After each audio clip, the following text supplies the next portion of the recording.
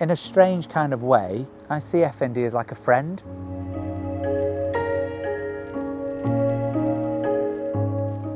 As hard as it is, and as frustrating as it is, I wouldn't be where I am now. I wouldn't be happy. I wouldn't have found that, that freedom, I guess. I wouldn't have found the love of my life. I wouldn't have a one-year-old. I wouldn't have all that. I wouldn't be chatting to everybody. I wouldn't, I wouldn't set an awareness page. I wouldn't be doing any of this if it wasn't for FND.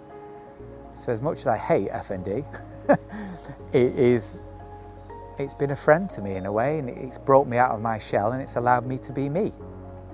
So thank you FND in a bizarre kind of way.